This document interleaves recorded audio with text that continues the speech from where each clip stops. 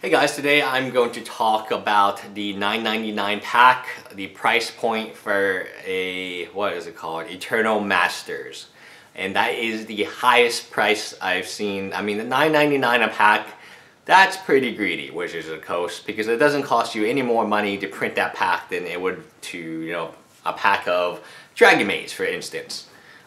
And I don't believe it's a good trend. I feel like the trend is actually very bad uh, packs have in general, due to inflation, gone up and up and up in price. But something like Eternal Masters, which I don't, I don't know if there's any new cards. I assume it's all reprints. Doesn't take much creativity. Yeah, you might say, oh well, it takes a team to make a draft format. Yeah, kind of, but a lot of times people are not even interested. And so when I think about Eternal Masters or Modern Masters, I just want good cards in the set how many people are actually going to draft a set when your local store gets like two cases? Like what? Like and there's no GP event. There's no, you know, there's no um, Pro Tour. It just doesn't. It's not draftable. Like how many times are you going to be able to draft the set? So yes, maybe people spend money on designing a draftable set, but in my opinion, it's all about the reprints. And we had two good ones: Waste of, ah, Waste of Will, Wasteland, and Force of Will. Uh, I like the Force of Will at Mythic, and I love the Wasteland at the Rare. I, I, it makes sense to me. We're going to see more goodies, um, maybe, hopefully, at Tarmogoyf. Tarmogoyf is one of the most played green cards in Legacy. So we'll see if uh, gets a new reprint. But 9.99 pack, I mean, that's just very, very greedy. Um, and I think it's it's an indicator of things to come. Can I see a $20 pack down the road? Yes, I can. Can I see a $40 pack down the road? Yes, I can. That $40 pack will be called from the vault, right? Which sometimes sells for $200.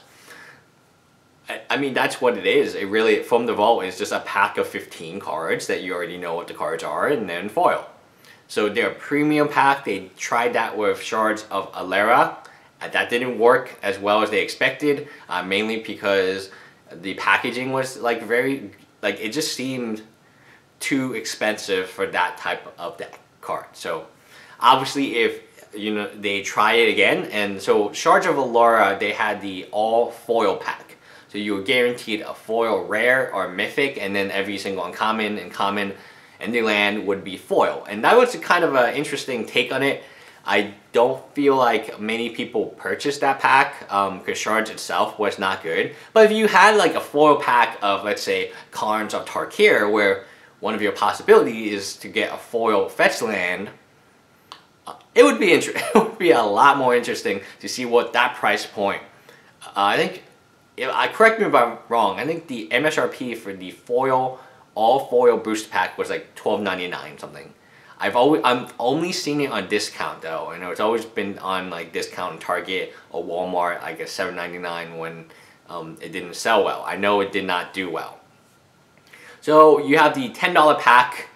Um, I could see a twelve dollar pack. The only reason I can see like these really expensive packs because Modern Masters One used to be that expensive. The MSRP wasn't that expensive, but the actual packs were selling for fifteen dollars a pack and that was pretty crazy. So Wizards of the Coast knows that, hey, at least we can reach $15 a pack MSRP. Now, they have to put some really good stuff in it. I do not like the trend. I feel like the trend is, yeah, I mean, I'll just be honest. It is disadvantageous to someone who cannot afford $10 a pack. Um, because your battle cards, your Force of Wills, your Wastelands, I know people will say, oh, you can trade for them, you can trade for them. But hey, you know, someone's someone's able to spend ten dollars a pack and you're not able to, they're going to get better cards than you are. They'll get the Force of Wills, they'll get the Wastelands, they'll pimp out their trade binder, and yes, they paid more, and Magic is a pay-to-play game. And there's no better example of that than a $10 booster pack. That $10 booster pack, it's got to have some good stuff in it. Like Wizard of Coast, I don't believe is dumb enough not to put really good stuff in a $10 booster pack. Because if they can sell a $10 booster pack, next time around they'll be like, oh, we sold a $10 booster pack. hmm, that's interesting. Let's try to sell a $20 booster pack next time and we'll put even better stuff in it. And Wizard of the Coast is going to eat the secondary market alive if this is what they are planning to do because in the, I'm okay with that. I feel like that part is okay. I just would want the packs to be a little cheaper in the future, have the same equal quality of cards, but be a little cheaper in the future. I think that's all I can really ask. I'm a little disappointed that their packs are going to be $10. Um, I think that's too much. That's way, way too much for the average Magic player. And that's not something that I look forward to paying for. And I can't imagine anyone's like, oh, great, $10 a pack. Now I can buy like two of them. So, Eternal Masters, ugh, I think it's an indicator of things to come. I would not be surprised if a year from now I'm talking about, oh my gosh, Eternal Masters 9.99 pack, but Eternal Masters 5 or Eternal Masters 2 or Modern Masters 2017 is $15 a pack. That's a great deal.